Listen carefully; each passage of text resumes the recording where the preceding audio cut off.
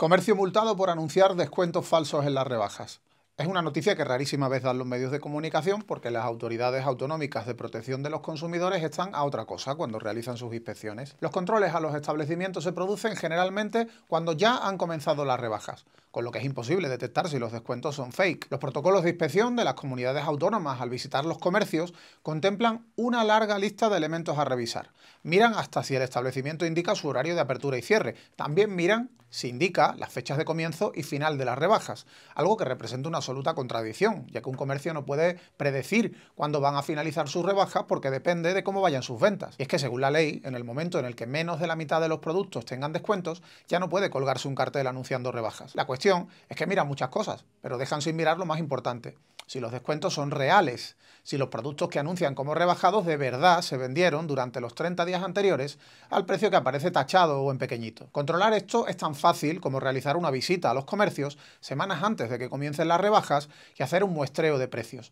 De hecho, en muchos establecimientos, las grandes cadenas, el control puede realizarse online, rastreando sus páginas web. Pero pocas autoridades autonómicas hacen esto y aún menos son las que cuando constatan las irregularidades hacen públicas sus resoluciones sancionadoras. Ocultando esta información a los consumidores no hacen más que proteger los intereses de las empresas que defraudan, como también las protegen cuando las cuantías de esas multas resultan ridículas en comparación con el beneficio ilícito que obtienen con sus rebajas engañosas. Protegiendo al defraudador, las administraciones nos perjudican a los consumidores y perjudican también a los establecimientos que hacen las cosas bien y sufren esa competencia desleal. Al final, muchos de los que lo hacen bien acaban haciéndolo mal porque ven que si no engañan no pueden competir con los que llevan años haciéndolo. Recientemente el Ministerio de Consumo y otras cosas anunció expedientes sancionadores por falsos descuentos a dos grandes comercios cuyos nombres revelará cuando sean firmes y también anunció que iba a monitorizar los precios de cara a las rebajas de verano para detectar y multar los fraudes. Ojalá las multas difieran mucho en su cuantía de esas pantomimas de sanciones que suelen imponer las comunidades autónomas. Y ojalá el gobierno dote de muchos más medios al ministerio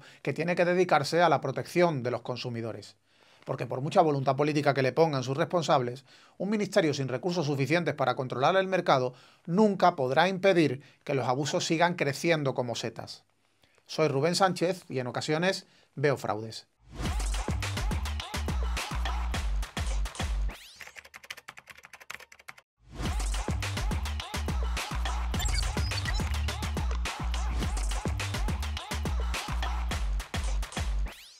En ocasiones veo fraudes. El podcast de Facua con Rubén Sánchez. Tras acabar el último programa, como siempre, llame a mi representante. No, no, no puedo entender que Vueling no deje entrar una pasajera porque llevaba eh, un escote generoso, por decirlo de alguna manera. Que sí, que sí, que me he venido a los tiempos de cuéntame. Parece que nos volvemos para atrás, pero esto es de Vueling. ¿Vueling para atrás? No, no, no, no les vamos a dejar. Me voy a poner yo un escote generoso también. A ver si me dicen algo, hombre. Madre mía, lo de Vueling. ¿Qué tal? ¡Feliz orgullo! Vamos a comenzar como siempre con nuestras tres historias de actualidad. Acaba de dictarse la primera sentencia tras las 10 demandas presentadas por Facua contra el cártel de fabricantes de automóviles que inflaron fraudulentamente sus precios entre 2006 y 2013.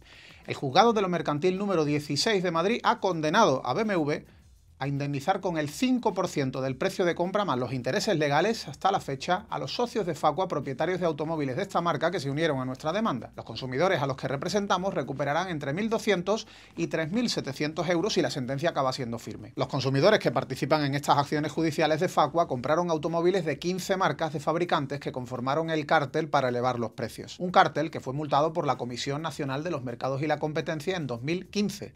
Casi todas las sanciones de competencia acabaron de declarándose firmes por el Tribunal Supremo en 2021, lo que abrió las puertas a que los consumidores comenzasen a interponer demandas judiciales para reclamar el dinero que habían pagado de más. Nuestras demandas fueron interpuestas entre octubre de 2022 y abril de 2023 en los juzgados de lo mercantil de Barcelona, Valladolid y Madrid, donde tienen sus sedes sociales los distintos fabricantes. Ya empiezan a dar sus frutos, vamos a ver qué es lo que ocurre con el resto de procedimientos. Y otra acción de Facua que ha dado resultados positivos. La Audiencia Nacional ha abierto una causa contra Naturgy por haber manipulado los precios de la electricidad durante casi dos años. Investiga si con esas prácticas, que fueron multadas con 6 millones de euros por competencia, la empresa y sus responsables incurrieron en delito contra el mercado y los consumidores. Delito que se castiga con hasta 5 años de prisión en nuestro Código Penal.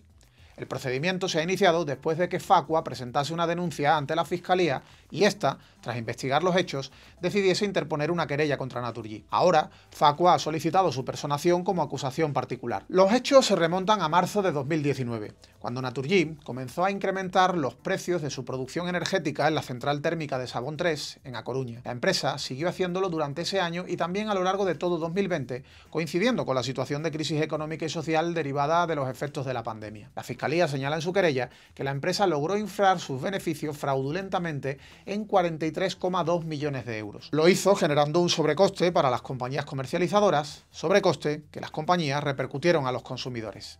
El juez que instruye la causa, José Luis Calama, ha requerido a Naturgy el organigrama de la empresa desde que comenzaron los hechos hasta el día de hoy. Así que en breve es posible que comience a citar como investigados a responsables de la compañía. Por cierto, seguimos denunciando festivales de verano que cometen una cada vez más larga lista de irregularidades. La más clásica, no permitir la entrada con comida ni bebida para que te veas obligado a comprarlas dentro por un ojo de la cara, a sabiendas de que la gente prefiere hacerlo antes de que le dé un chungo. Y para los que intentan huir y comprarse el refresco y el bocata fuera, plantean un cargo adicional por volver a entrar. Luego están las famosas pulseritas cashless un método de pago que imponen saltándose la obligación de permitir el efectivo y además cobrando una comisión por devolver el dinero que sobra. Todas las formas posibles de trincar las van inventando e innovando cada año. Pues bien, nosotros no paramos de denunciar y las administraciones competentes no paran de demostrar que son unas absolutas incompetentes porque no hacen nada. Bueno, para ser justos, algunas sí que hacen algo. El Ayuntamiento de Madrid ha resuelto multar al Festival Jardín de las Delicias por las irregularidades cometidas el año pasado con la escalofriante cifra, agárrate, de 3.000 euros. Por su parte, el Ayuntamiento de Sevilla ha decidido no quedarse atrás en esto de fingir que defienden los derechos de los consumidores, cuando en realidad lo que hacen es dar carta blanca a las empresas para cometer las irregularidades que les dé la gana, a cambio de un pequeñito peaje. En Sevilla, el Sonoria Festival se ha llevado una micromulta de 2.000 euros. 2.000 euros es de momento el récord de lo absurdo, de lo impresentable, de ser lo peor de lo peor en esto de proteger a los consumidores. Vengan señores, hagan sus apuestas. ¿Quién da menos? Y a continuación, David Ávila con su terror en el supermercado. Terror en el supermercado. El análisis de los precios de David Ávila. Muy buenas. Hoy volvemos a hablar del aceite de oliva, un producto que sigue en boca de todos por tener los precios disparados. Algo que el gobierno va a solucionar eliminándole el IVA desde julio hasta septiembre. Con el IVA al 0%, el aceite va a salir prácticamente gratis. Claro que sí.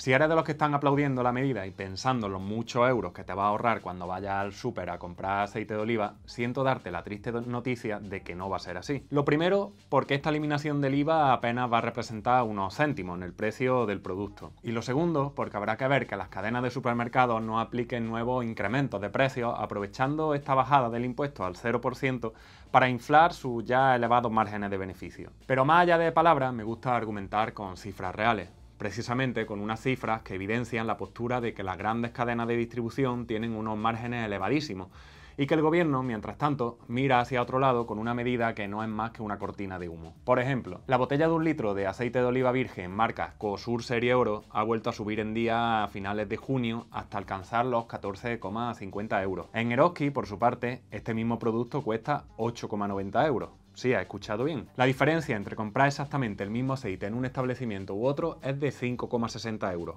Una locura. Y no sé si lo sabes, pero en nuestro país está prohibida la venta a pérdida en todos los eslabones de la cadena alimentaria, incluido el consumidor final. Por lo tanto, si Eroski vende el aceite a 8,90 euros y le gana dinero, ¿cuánto margen obtiene día sobre este mismo producto que ya de por sí lo vende un 63% más caro que su competidor. Y no se trata de un caso aislado. En Carrefour, la garrafa de 5 litros de Virgen Extra marca Carbonell está actualmente a 63 euros.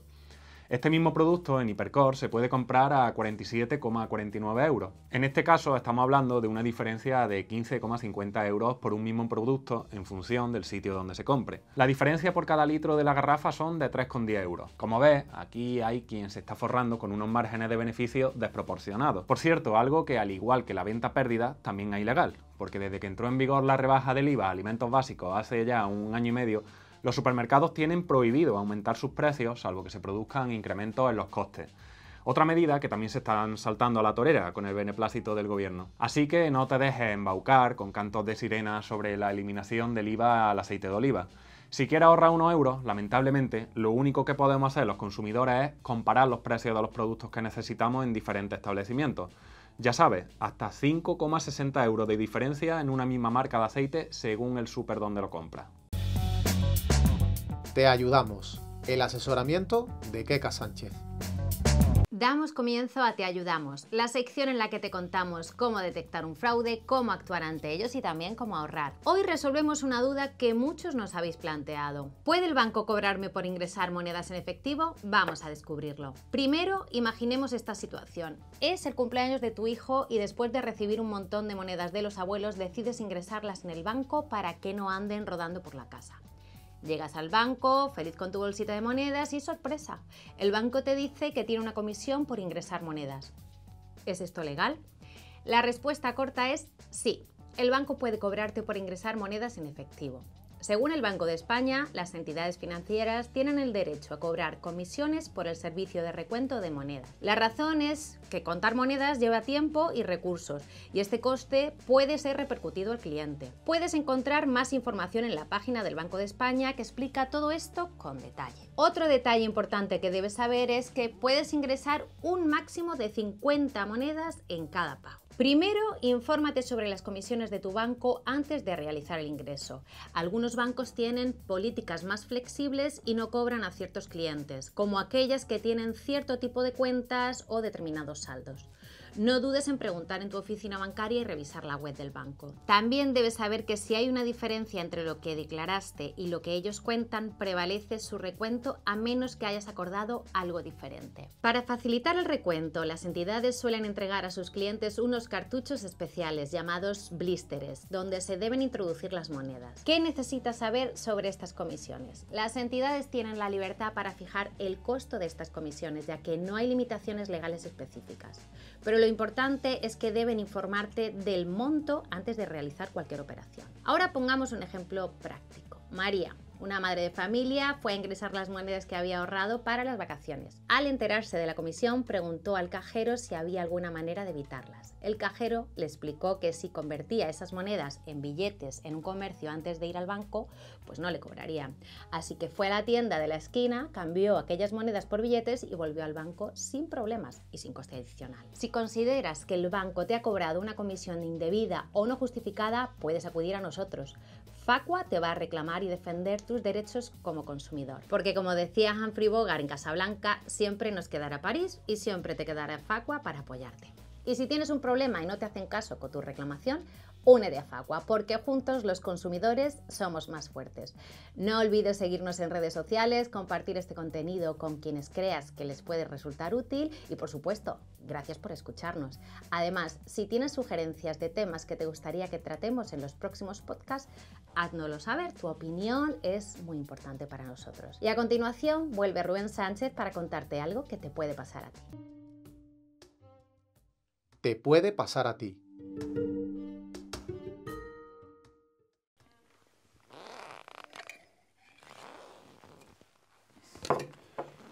Ojo a esta historia sobre un socio de Facua al que MediaMark no quería cambiarle una televisión que compró y que venía con defectos de fábrica, ya que seguro que algo parecido también te puede pasar a ti o a alguien cercano. Pensando que se llevaba el chollo de su vida, Adrián compró en el Black Friday un pantallón de 65 pulgadas por 499 euros y nada más que llegó a su domicilio y la probó, se dio cuenta de que tenía una rayita horizontal y otra vertical en la pantalla que no permitían que la imagen se viese como debería. Como es lógico, al día siguiente acudió a la tienda de MediaMark donde la había comprado para advertir de que la tele tenía un defecto. Pero echándole un morro que se lo pisaban, los empleados de la tienda le dijeron que eso era culpa de él porque seguro que había hecho una mala manipulación de la televisión al configurarla. Después de insistir mucho, en el establecimiento accedieron a quedarse con el televisor para mandarlo al servicio técnico de la marca.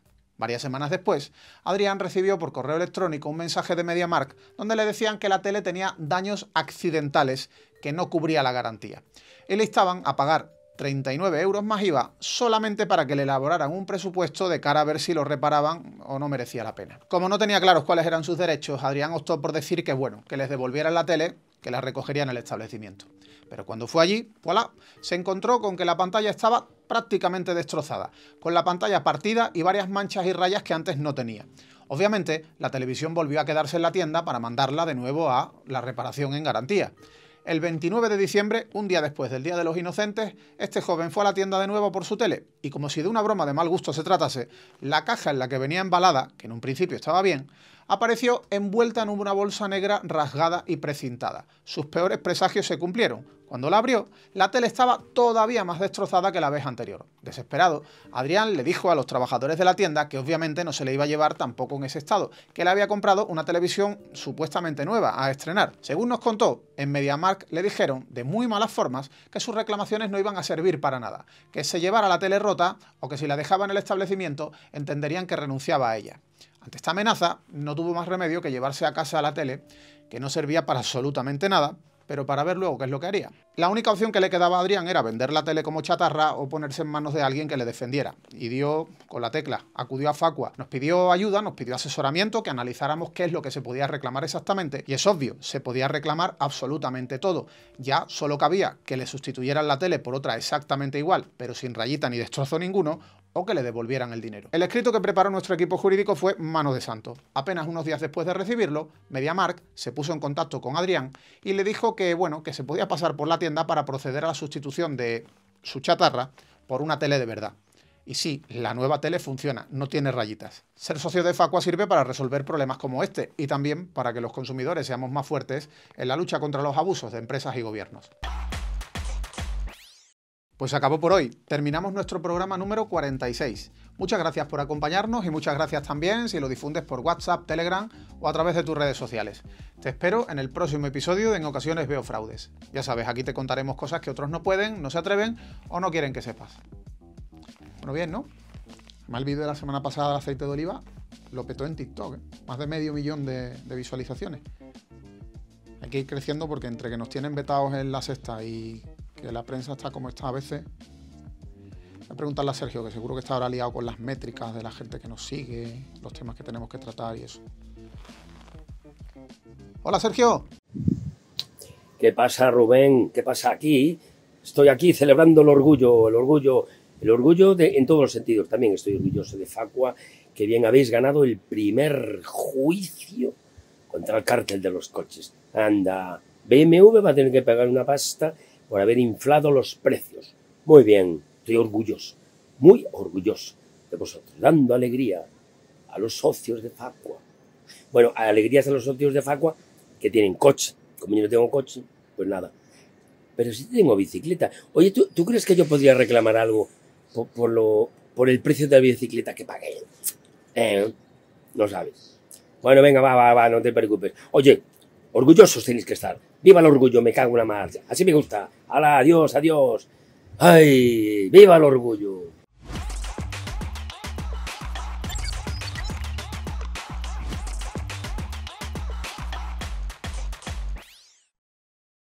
En ocasiones veo fraudes. El podcast de Facua con Rubén Sánchez.